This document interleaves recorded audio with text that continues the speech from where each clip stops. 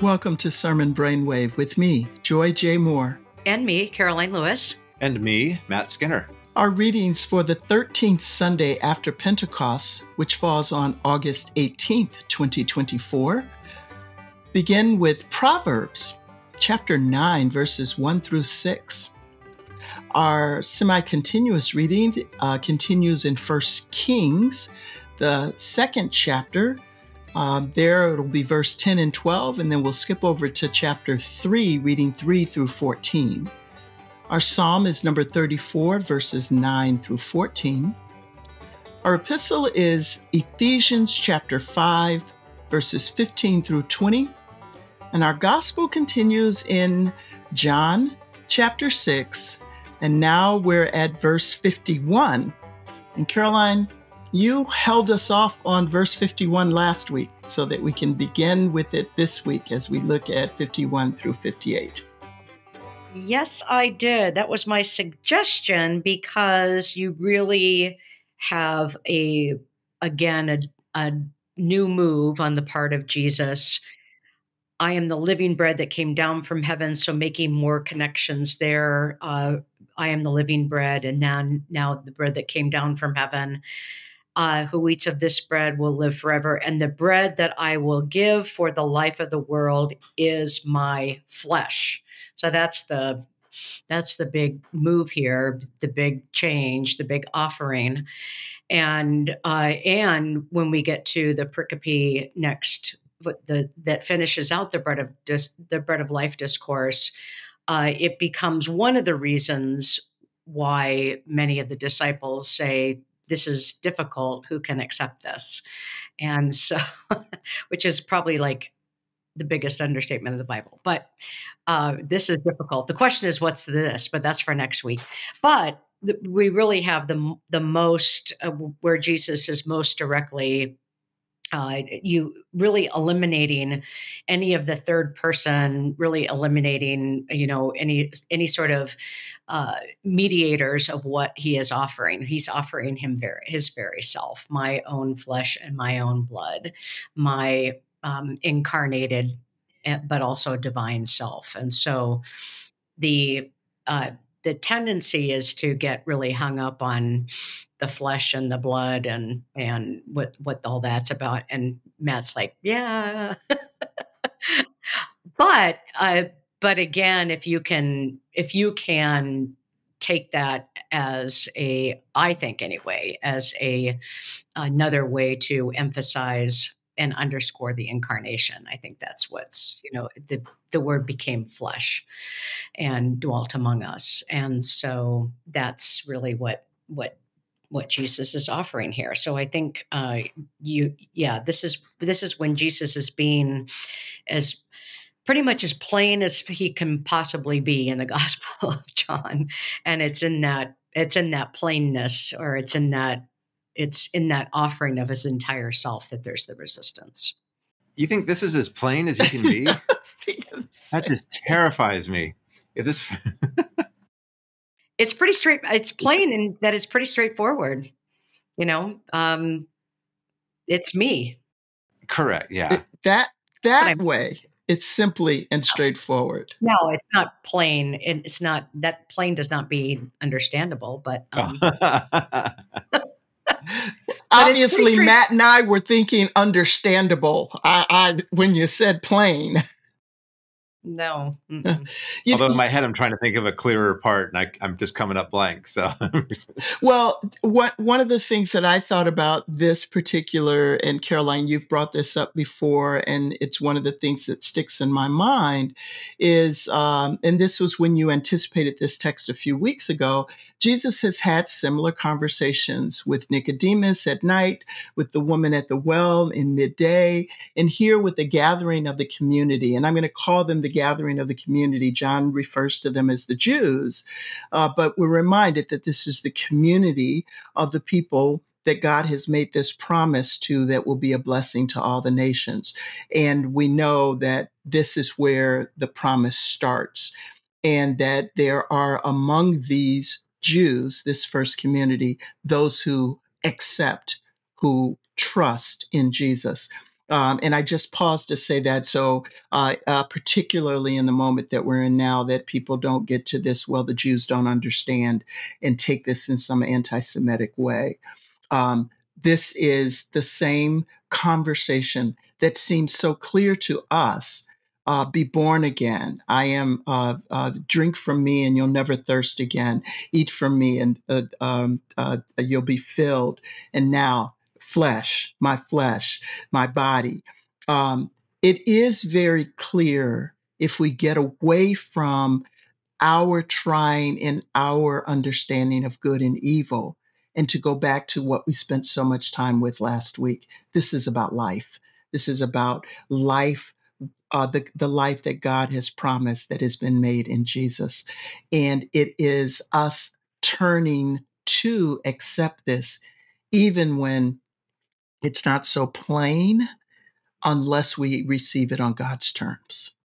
Uh, it seems to me that, um, oh man, I'm not trying to pick a fight here, but it seems that the clearest part of this text is that it's it's it reflects a kind of sacramentology of some kind. It mm-hmm. seems that we, based on kind of where we've moved from eating to eternal life that now it's this idea of how do you participate with Jesus now and like the here and now. Mm. And part of that is in some ways, I think maybe communalized, perhaps around Christians gathering together to eat together. Mm-hmm. I don't want to say it's just like the Lord's Supper and the Last Supper in the Synoptic tradition. I'm not saying that, but right. doesn't there have to be something here about the way in which this participation, this participation with Jesus is becoming kind of ritualized. That's what I mean by I say sacramentalized, like mm. that it's perhaps located in a communal sharing of life with Jesus that's also centered largely around food and shared meals. Is that possible? Before you answer, Karoline, because you're going to give the right answer, I'm going to throw something out. I'm going to throw something out there, Matt, that your question and the way that you you you presented it made me begin to think and and i don't know i, don't, I just when we think of um, sacraments uh, particularly those of us who are, are are more what would be the high church, where we actually you know take communion more often uh, than once a month, and and, and um, uh, uh attend to baptism and in, in in those quote unquote rituals as you did, as you mentioned for some reason or another, when you phrased the question, what came to my mind was uh, the sacrament of our very living. And, and it, it was marked around what you said about communal, our communal lives. And maybe I'm anticipating uh, Ephesians, uh, uh, that we'll be reading in, uh, as the uh, other text from the New Testament this week and have already been in. But this reality that it's not just the ritual practices of the gathered community, it's the practices of our lives when we leave the sanctuary and we enter into the world and we actually practice hospitality so that it's not the wafer and the shot glass. It's actually the meal, the table spread for others. Um, so I'm I'm taking that community community idea and hospitality, and I'm making the sacrament not the ritual in the church, but the practices of the church in the world. Okay, fix me, Karoline. Maybe. I mean, I just would say that's, I'm coming at, I think, more from a New Testament point of view, which is that almost every New Testament writing has got concerns about communal eating uh, in one way, shape, or form, and that this is it's not so much a sanctuary. It's just this is what people do. This is a mark of being within this church, and mm-hmm. that communal eating is a sign of deep communal intimacy, as also as well as potential for offense and for and for difficulty. But I mean, how that gets mapped out in the different. Uh, but absolutely. we're probably both wrong. Absolutely. Yeah, that's why I'm jumping in before Karoline corrects us. Uh, absolutely, Matt, because when you say sacrament. I think this you've rubbed off on me because when you say sacrament, I I very easily get into ecclesial rituals. But you've spoken so repeatedly. Yeah. I know you don't. And and when I heard you, you've spoken so much about communal practices that I immediately went there. I immediately checked myself against the sacramental rituals into that first century reality of what it means to sit down at table with them. Mm-hmm. Because that yeah, for people who don't know, I'm pretty I'm pretty Zwinglian at the end of the day. But uh, last week I talked about cake over pie. Now I'm talking about Zwingli over Calvin and Luther. I'm going to get myself in huge Midwestern trouble. Anyway, Karoline, are you still on the podcast? I I'm just listening, and no, no I I think it, I I would not i have no interest in uh, correcting either one of you or uh, I, I, think i so think all of that. these reflections. I think all of these reflections what that what they point to i is an important aspect of this of the bread of life discourse which i talked about at the very beginning that you know whether or not this is a you know a, the beginnings of some kind of you know some kind of sacramental gathering together of the Christian community uh, is it, it, certainly one could say that. I think the the what's what, what I find interesting is how does something like this then shape our understanding of the Lord's Supper or the the sacrament of the Lord's Supper? How does it how does it influence our own sacramentology in ways that we haven't thought about before. And I mentioned this earlier about the fact that that these moments of Jesus hosting a meal uh, here and then in John 21 are not again connected to the night he was betrayed, but in the middle of his life, and particularly the abundance of life that he's offering here, and then again in John 21. And so, how does that offer some, you know, nuances or subtleties with regard to our expectations of what happens at the Lord's Supper? Uh, I, I think another clue to all of this might be verse 56 uh, because and some scholars will even say that this is really the heart of the of the uh, bread of life discourse. Those who eat my flesh and drink my blood abide in me and i in them that that's that this whole meal is pointing toward or this whole discourse and the meal itself is po- pointing toward a kind of sharing with Jesus that is even beyond sharing. It's that abiding. It's meno. It's John's favorite word, and so it's relationship, and uh, and so it it ends up being it, this this verse ends up being sort of the pinnacle of the of and to what extent that's you know that's what they that's what is difficult of imagining you know abiding with jesus and i and them. Of course we'll get that way more when we get into the farewell discourse but there's it is uh again going kind of to the plain not so plain but it, it really is that connection this is what this is what i'm offering in this i'm offering myself my very self and all of myself i'm holding nothing back I so that you can know me as deeply as I want to know you, and I know you already. So. Um, I think the commentary yeah. also helps with that in terms of this enduring. It talks about uh, the remaining. Um, so uh, I just uh, would turn our readers to to look at at at what uh, Peter Edger has has shared in the commentary on that as well.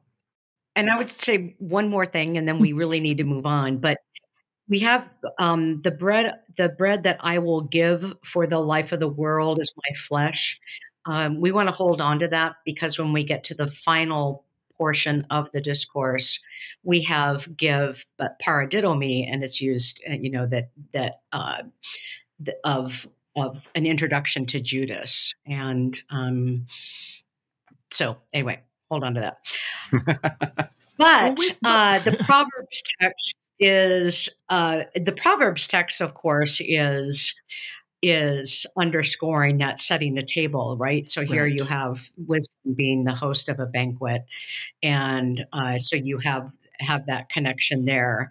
Uh, but obviously, you can do Proverbs all, all on its own as well. So it's lovely that the Proverbs text was chosen for this week, and in terms of of talking about how uh, God's feeding also happens through wisdom. Um, I, I wouldn't, as a preacher, I wouldn't want to spend a lot of time talking about wisdom imagery in John, although I know it's there. We know it's there. Yeah. But to talk about the various ways in which God nurtures going beyond the miraculous. And sometimes it's in more real life lived experiential ways, flesh and blood ways, one might even say, uh, like the experience of wisdom and what that means for kind of practical wisdom and practical um, ways of living. Just again, to show that it's not just simply about food that suddenly appears before you, and that you know mm-hmm. whether it's in the Exodus or in the in the context of the feeding in John six, and to spend a little bit of time with that, right? About how God's God is known and how God sustains in a variety of ways. Which is something that Psalm speak, speaks to as well. Those who seek the Lord lack no good thing. So that's the way I would bring, and especially coming off of 34 8, oh, taste and see that the Lord is good. So this psalm is, is, uh, yeah. is underscoring, underscoring yeah. the theme that you just said, um.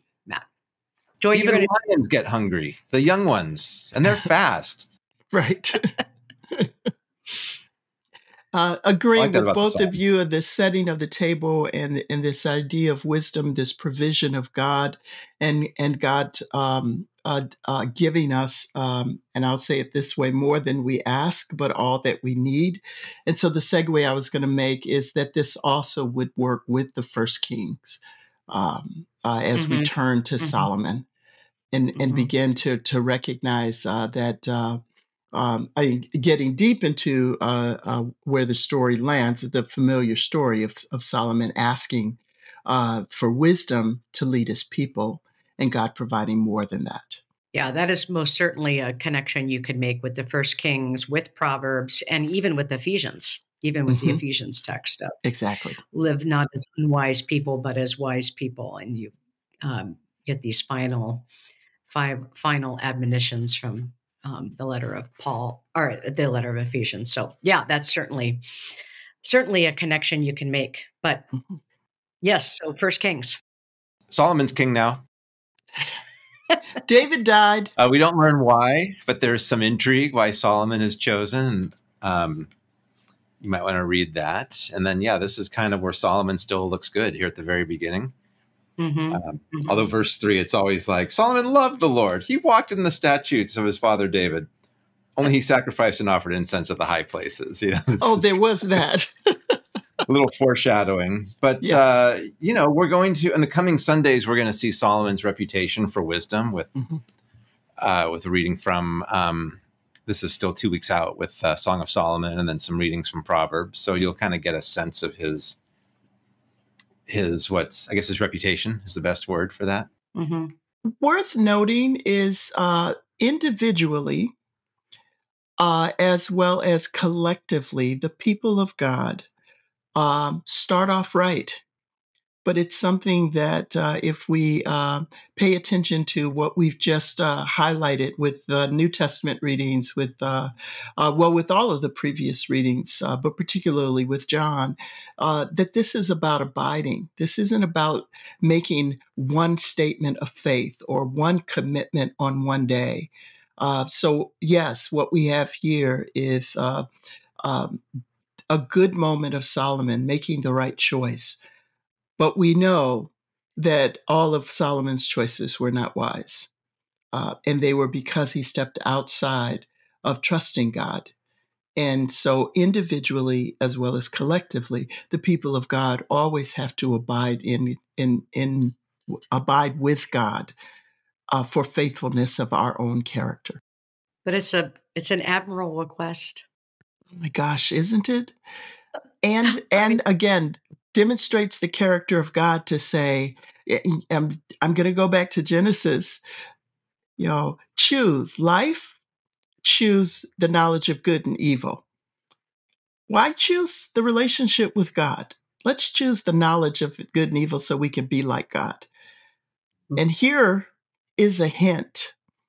If you'd chosen life, you'd have gotten wisdom. I just love that, you know. You know uh, if, if, if you've chosen, excuse me, if you've chosen life, you'd have gotten knowledge. And so here we have uh, this admirable choice of Solomon, where he, for the sake of his people, it's not a selfish request.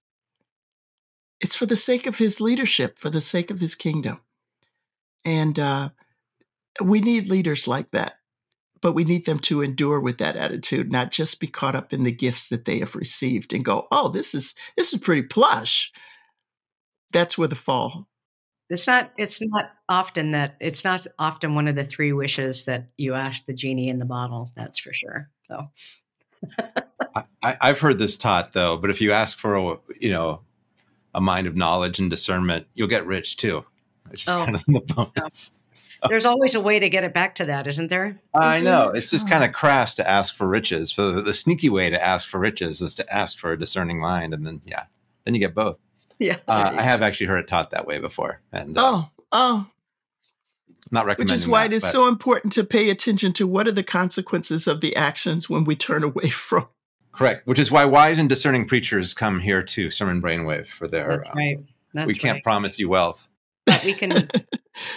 we can promise you some wisdom and discernment, modicum amount of both. Correct. Correct. Just don't threaten to cut any babies in half. Is my first bit of advice people are like, what is he talking about? Read, read First Kings. Keep reading. Yeah. uh, all right, Ephesians. Uh, I I mentioned it earlier, but you have this section, uh, chapter five, one through twenty. This final final groups of group of um, instruction uh, coming from Ephesians. But once again, I would uh, I I've been saying this all along, but is there a way that you can work this in as a, uh, particularly depending on what direction you go for the uh, for your sermon? Uh, is there a way to use this liturgically? Be careful how you live, and but as wise people. and and I'll anyway, and I'll that's my instruction on the instructions on the instructions. Your consistency for these, uh, as we've moved through uh, the letter to uh, uh, the Ephesians, you've you've you've been consistent, karoline and and so I'll I'll I'll do that in the same and say these are difficult instructions. This is a difficult way of living. It's difficult, not because uh, not because it's really pie in the sky, because it's not. It's difficult because it's countercultural. It's not what the world is doing. It's not what the world is getting away with.